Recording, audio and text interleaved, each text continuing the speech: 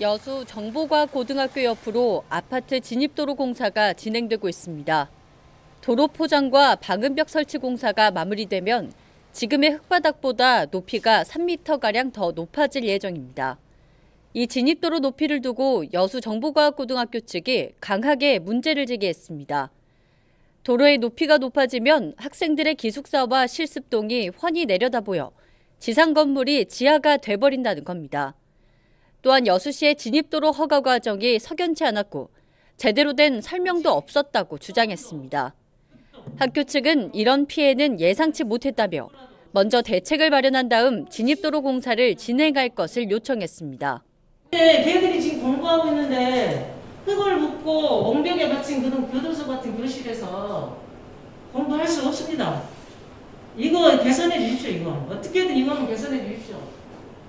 이거는 하여튼 기술적으로 뭐가 저는 기술을 모르겠으니까 현장 소장님이 어떻게든 영 보셔가지고 이건 좀 고쳐주시고 지금 당장에 이사할 방법이 없다니까 교실 여유가 없습니다. 논란이 불거지자 입주 예정자들의 불만이 터져 나왔습니다. 학교 측의 주장이 잘못됐다는 겁니다. 아파트 진입도로 공사는 수년 전부터 허가된 사항이었는데 아파트 준공기일이 두 달 남짓한 상황에서 마치 불법 도로처럼 주장하는 것은 황당하다는 입장입니다. 사생활 침해 논란에 대해서도 아직 입주도 하지 않은 입주민들을 잠재적 범죄자로 취급하는 것이냐며 불편한 기색을 내비쳤습니다.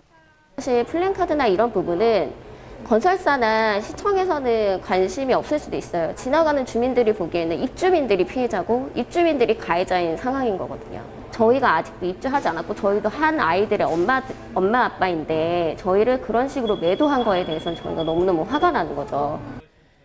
여수시는 아파트 공사뿐만 아니라 진입도로 공사 허가 과정은 모두 적법한 결정이었다고 재차 밝혔습니다. 학교 측의 피해에 대해서는 유감이지만 진입도로 설계가 관련법상 문제가 없었기 때문에 계획대로 추진돼야 한다는 입장입니다. 현재 저희들이 건설공사 현장에서 특별한 문제점이라든지 안전에 위해를 끼치는 사항에 대해서 발견을 못했어요. 그렇다면 저희들은 적법한 절차에 따라서 허가받은 현장을 임의대로 공사 중지시키는 좀 어렵지 않나 이렇게 판단하고 있습니다. 건설사 측은 학교 측이 주장한 하자 내용에 대해 보상을 협의해 나가겠다고 밝혔습니다. 하지만 모든 허가 과정이 적법했던 만큼 공사 중단 없이 준공기일에 맞춰 아파트 입주가 이루어질 수 있도록 하겠다고 약속했습니다. 뭐 불법을 저질러 가지고 그런 요구를 했다라면 당연히 해줘야 되는 게 맞지만 그런 상황도 아닌 거고요. 수업을 못 하겠다 이렇게 만들면서까지 저희가 공사를 하지 않을 거니까요.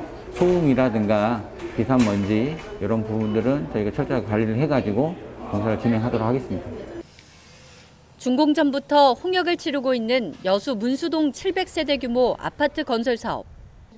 학교 측의 피해 보상 요구와 입주 예정자들의 불안감이 계속되는 가운데 진입도로 공사 완공 여부에 관심이 모아지고 있습니다. 민원 25 서경입니다.